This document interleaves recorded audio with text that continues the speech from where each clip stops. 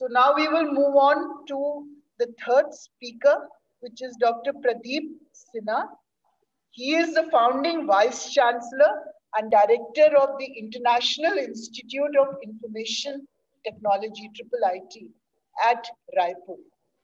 Earlier, he was at the Center for Development of Advanced Computing, where he had led national programs in areas of high performance computing, grid computing, and health informatics. And Dr. Sinha has led the development of various technologies for better healthcare services, which have been deployed in several super specialty hospitals, as well as the primary and tertiary healthcare centers in India. These include the Mercury telemedicine system, the software development kits for DICOM and HL7 and Health Grid. He has also led a group of scientists from India and Sweden to develop technologies for building a national electronic health record system, which enables access of a patient's past medical history and records from any hospital in India. He's an educationist, researcher, scientist, inventor, and internationally acclaimed author of computer textbooks with more than 35 years of professional experience in this area. So is it's very important because healthcare technology in today's era is very important. And that's why we have him on board to talk to us and give his advice. He's a fellow of the IEE and Fellow of the Computer Society of India and the ACM Distinguished Engineer. He is the 2011 Vasvik Research Award and 2013 Intel Pathfinder Award. So over to you, Dr. Sinha.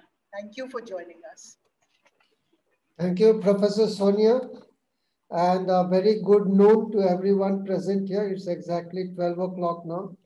Uh, first of all, I would like to thank Honorable Director, Professor Dhiman and uh, Professor Mishra for giving me this opportunity to be part of this very important intervention, which uh, I feel is very, very important and for actually uh, celebrating or starting this research day, first research day, which uh, I feel is a very, very important first baby step towards actually research. We have been uh, taught Professor Sarin and Professor Chakravarti talked about research, but actually starting this type of research day is the first baby step in the direction of doing meaningful research and actually charging the faculty members of one of the premier medical institutes of the country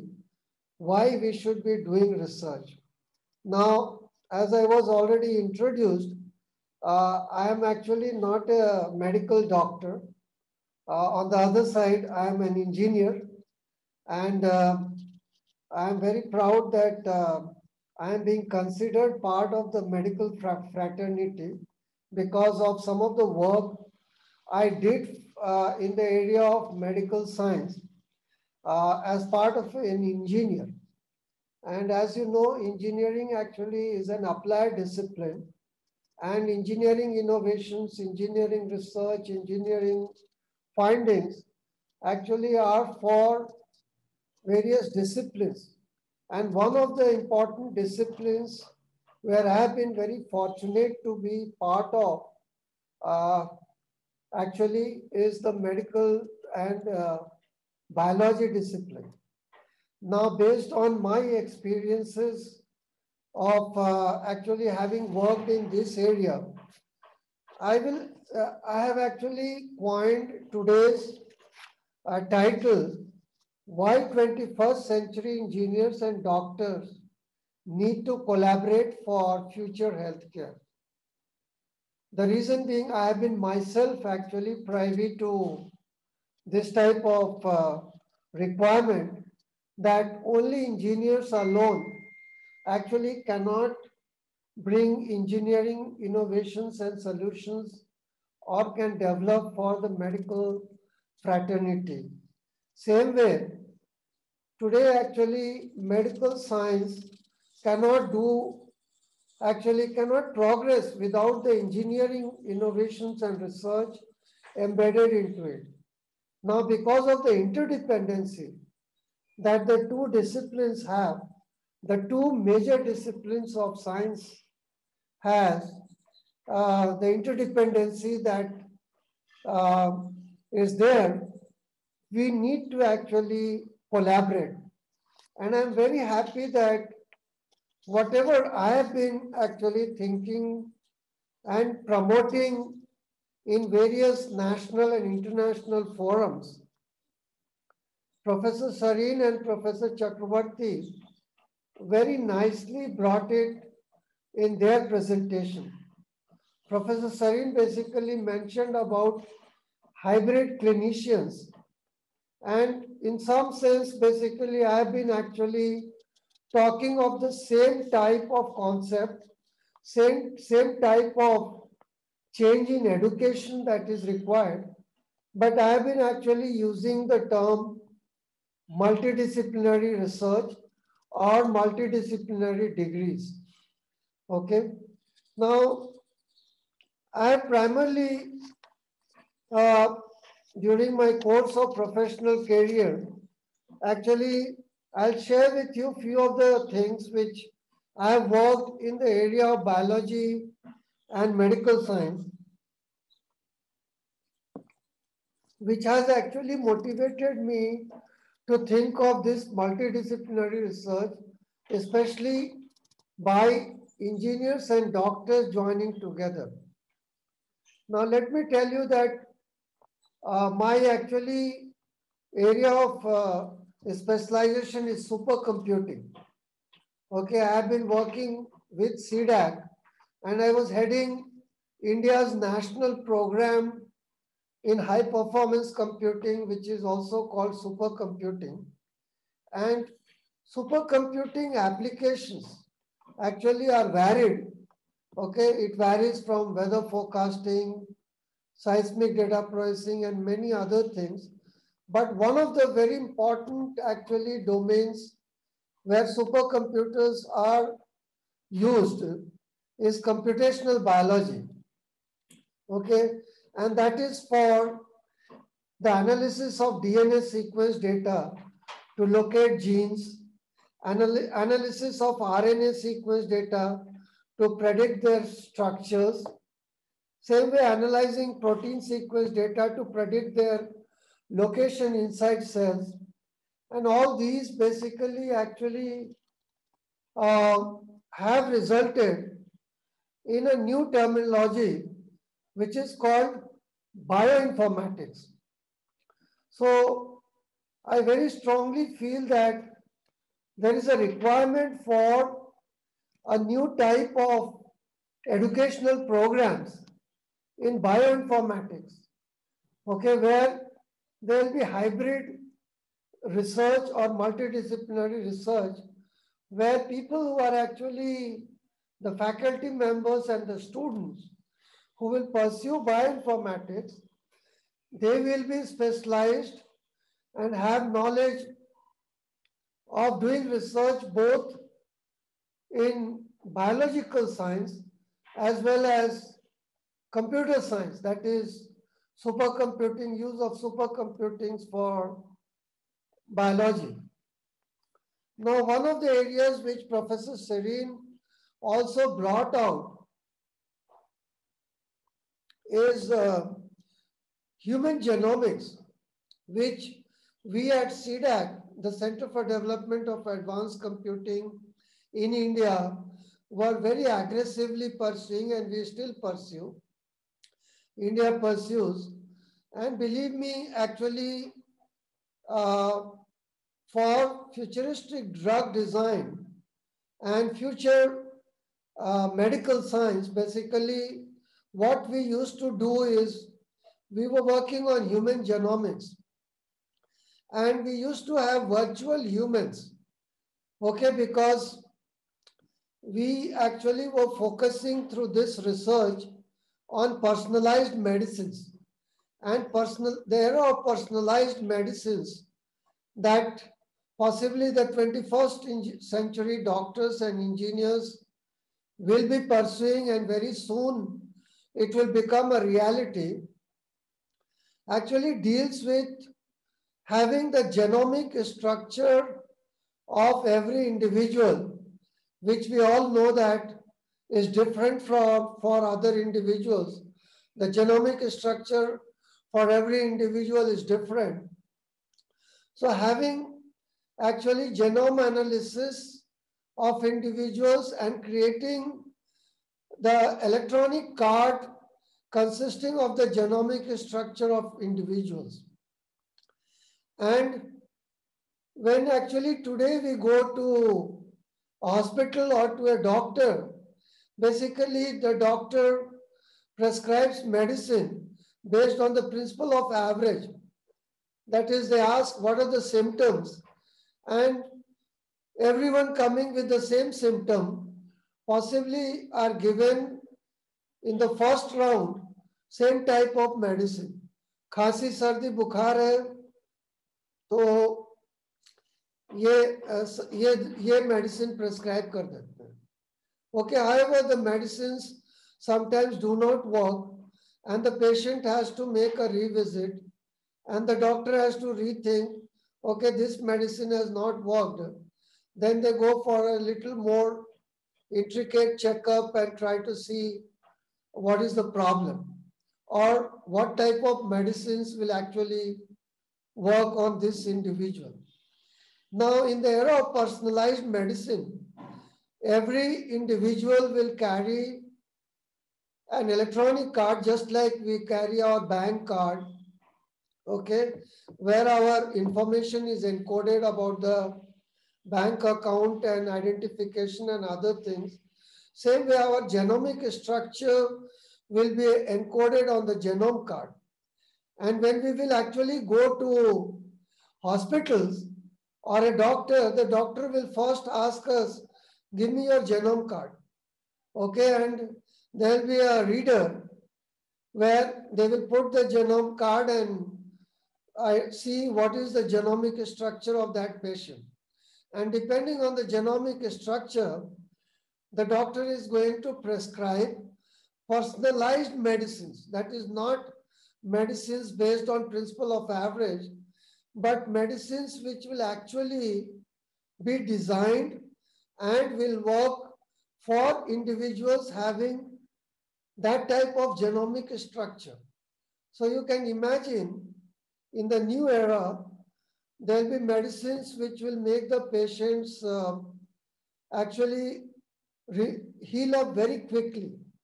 So all this type of actually era is coming and doctors and engineers actually, biologists, clinicians need to work hand in hand because we as engineers don't understand a lot of things uh, actually which are there in the biology or clinic, clinical science and so on. Okay, so that is uh, that is one area where I have worked and I feel that there is a huge need for combined research, including engineers who understand supercomputing, who understand computation, and the biologists or clinicians who understand actually DNA, RNA, genomics, proteomics, okay, molecular phylogenetic genetics, and so on, drug design. All these are very, very important actually domains where India actually needs specialists and who will create. Actually institutions like SGPGI or institutions like my institution, Triple IT, actually have to think about getting into this type of hybrid or multidisciplinary uh, specialists to be created through 21st century research. Now there are other areas where actually I have been actually uh, working and I am very happy that uh, Professor Saroj Mishra, he worked hand in hand with uh, CDAC and with national programs in healthcare where me and Professor Saroj Mishra's team, my team and professor have been working for years together. And few of the areas, what I, what I just now mentioned was bioinformatics. Now there is another domain which is called medical informatics. Now bioinformatics works at uh, cell level, but uh, medical informatics works at clinical, nursing, imaging, pharmacy. For example, in the area of medical informatics, we have health informatics system, HIS system, which is now very common in all hospitals. Okay, because computers are very extensively deployed for maintaining actually patient record, patient data, handling hospital activities, and so on. Same way we have telemedicine. It is also a part of medical informatics and telemedicine is very relevant and essential to Indian problem. For example, Professor Chakravarti mentioned that we should actually focus on India specific problem. I, I actually second his views very strongly because there is no need to actually only look into what foreign countries or advanced countries are looking in actually doing research towards. We do have a lot of india specific problems. And if we focus on those problems our country will benefit. Plus we will be actually doing a lot of meaningful research where our citizens will be benefiting and one of the areas where CDAC and SGPGI, PGI Chandigarh, and many other super specialty hospitals and primary healthcare centers where I have been working along with doctors and healthcare actually uh, members is uh, telemedicine. Okay, and telemedicine is very relevant to the Indian scenario because of the huge gap that India has become, has uh, the ratio of patients to doctors.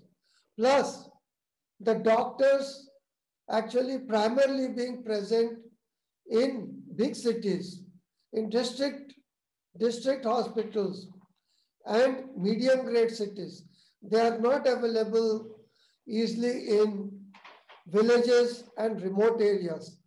So telemedicine becomes very handy and lot of research is required in making this type of actually telemedicine successful in India. Now it's not only telemedicine. Once we talk of tele, that is communication based healthcare, we can also talk of teleeducation where there are a lot of actually medical colleges which like SGPGI, which can actually impart healthcare or medical education to hospitals which are not having equipment. Like an operation is going on and it can be telecasted online to many other medical colleges under security and restrictive supervision of the doctors. Now, this will be of great advantage to the Indian scenario where we have actually shortage of equipment, shortage of facilities in many other hospitals where our other faculty, medical faculty members and doctors are being trained and they don't have the actually advanced facilities like SGPGI and many other PGI Chandigarh and AIIMS Delhi and so on. Okay, so this type of things are actually very important and we can work hand in hand to see how these facilities can be actually enabled for Uh, actually empowering our healthcare experts in various domains. Now, actually, we have seen that in the last two, three decades, the society has changed, transformed a lot. Okay, we have seen that from everything physical, lot of things are becoming virtual. Like even today, we are actually making our presentations in virtual mode.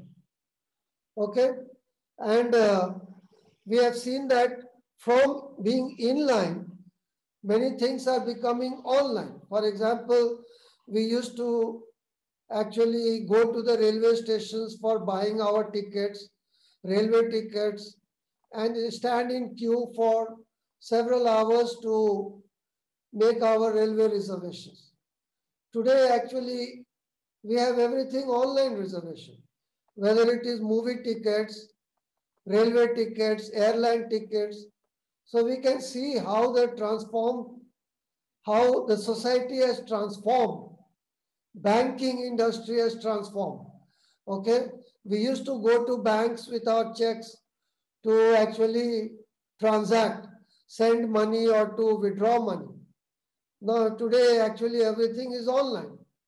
So the society has transformed to a large extent and we are seeing that, believe me, a bigger transformation and a faster transformation is actually down the line. It is going to come. Okay, it is because these transformations are happening because of the evolution of internet. Okay, we are all aware about the internet. And uh, medical science is also using internet to a great extent.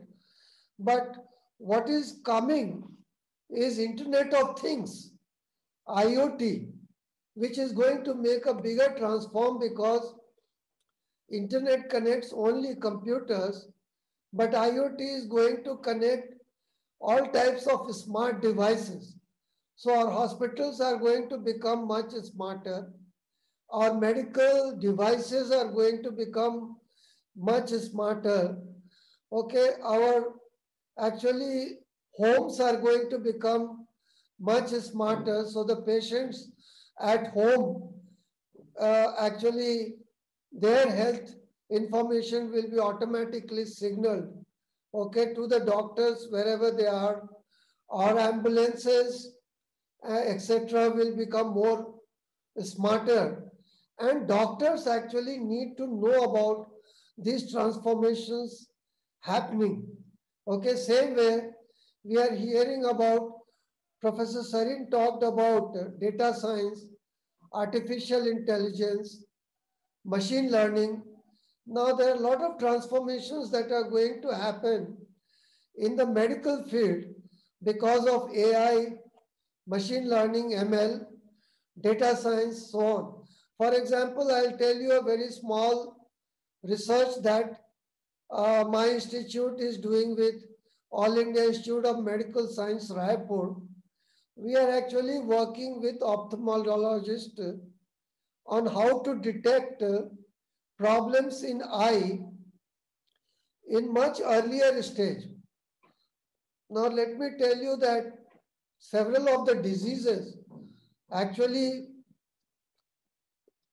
because of AI can be detected much earlier than it is possible today with the help of artificial intelligence and machines.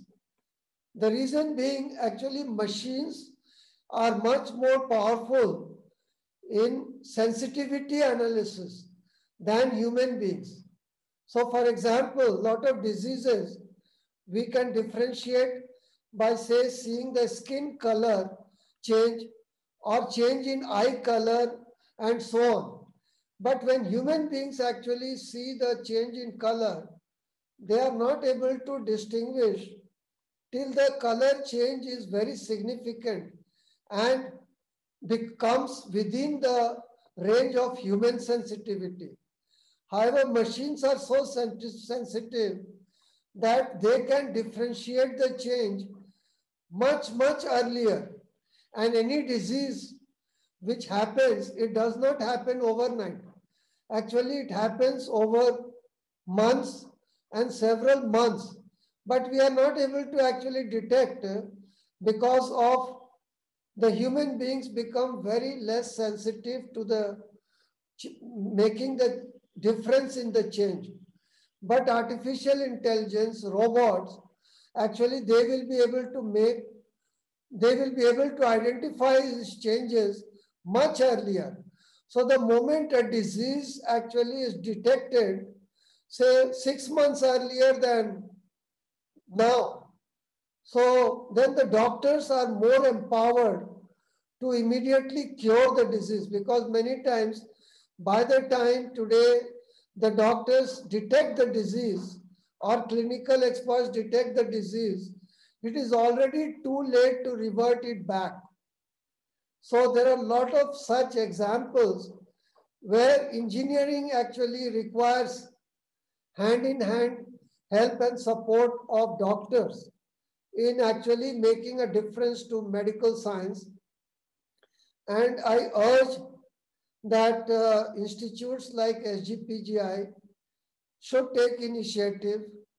Uh, basically, there are, we should actually, my suggestion will be, we should launch lot of projects where doctors and engineers jointly, actually until unless they join hands, they should be joint projects, joint research projects, then only they should be funded. They should not be funded if there are only doctors in that or there are only engineers in that. For example, we have Ministry of Information Technology, Ministry of Healthcare. They fund lot of actually research in these areas. So my actually appeal to Professor Dhiman, Professor Mishra and all the faculty members present there would be that let us appeal to the government that many of the future research projects should be funded when doctors and should be funded to joint institutes like SGPGI, like IIIT, IITs, and so on. And then only in future, we will have really meaningful research being done both by um, uh, the expertise combined with doctors and engineers. With this, Actually, I, I think I have taken five minutes extra. I'm sorry for that, but I'd like to once again thank uh, Professor Dhiman, Professor Mishra, and the organizers of this research day for giving me an opportunity and allowing me to share my views and thoughts on this very important day with a very important actually audience. Thank you very much. Thank you.